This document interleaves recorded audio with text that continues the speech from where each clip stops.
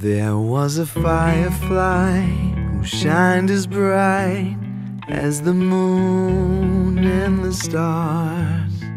With her guiding light seen through the night, she was never very far from those that she raised in the best of her days, making just a bit brighter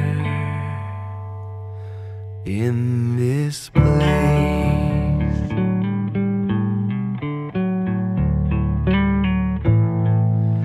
And when this firefly, who soared as high as the stars and the moon, would face one night her final flight, it all seemed And those that she raised feared the darkest of days, seeing the look in their eyes. She pointed into the sky